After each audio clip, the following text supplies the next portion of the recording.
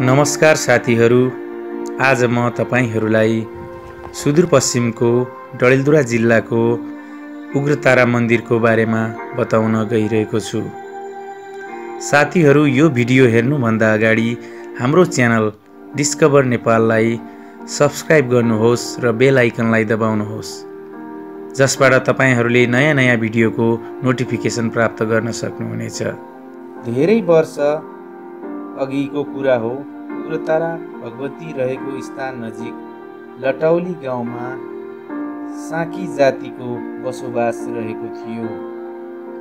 जुन कुरा त्यहाँको हाल रहेको भूबनोटको आकृतिबाट पनि प्रष्ट हुन्छ।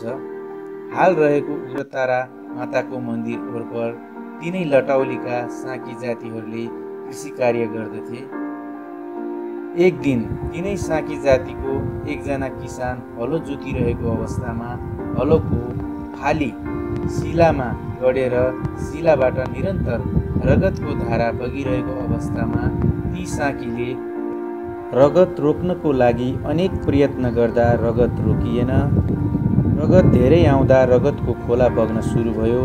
हाल पनि यो खोला यही मन्दिरको तल्लो भागमा रहेको छ जसको नाम तलनवा खोलाको नामले चिनिन्छ र यसरी बग्दै रहेको रगत रोक्न तिनै किसानले खान भनी ल्याएको मासको खिचडी सोही शिलाको फाली लागेर बनेको घाउमा लगाउँदा रगत बग्न रोकियो। त्यसपछि ती किसानले शिलालाई सुरक्षित गरी मन्दिर निर्माण गरियो।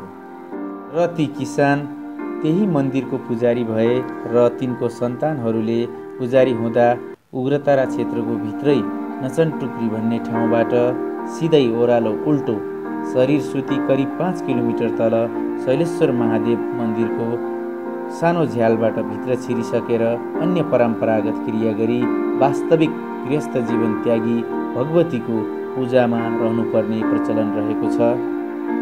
यसरी पुजारी अवतार नभएको अवस्थामा मन्दिरको बाहिरी शिलाभन्दा अलि टाढा मात्र ब्राह्मणहरूले पूजा गराउने चलन रहेको छ।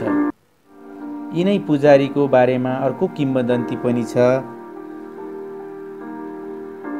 एक समयको कुरा हो उग्रतारा माताको पुजारीको वृद्ध अवस्थासम्म पनि सन्तान नभएकोले गर्दा सन्तान पाऊ भन्ने आग्रह गर्दा उग्रतारा माताले पछि दुःख पाइन्छ भन्दा उसले सन्तानको लागि ढिपी गरिरह्यो र माताले उसको कुरा पुरा गर्नुभयो र उसको छोरो पनि भयो।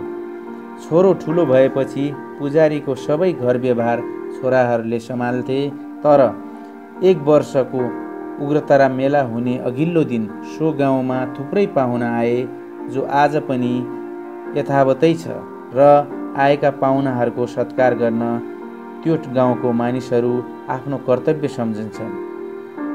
सोही हुनाले त्यसबेला आधा रातमै पाहुनाकै सत्कारमा वृद्धको छोरा बुहारीको समय बितेको र त्यस अवधिमा आफ्नो कुनै पनि वास्ता नगरेकोले वृद्ध पुनः आक्रोशको साथ राति नै उग्रतारा मन्दिरमा गई माताको पुकार गरी हजुरको दरबारबाट प्राप्त छोरा नष्ट होस्। भन्दा भोलिपल्ट मेलाको दिनको ठिक बाह्र बजे तिनको छोराको मृत्यु भएको किम्बदन्ती सुन्न पाइन्छ।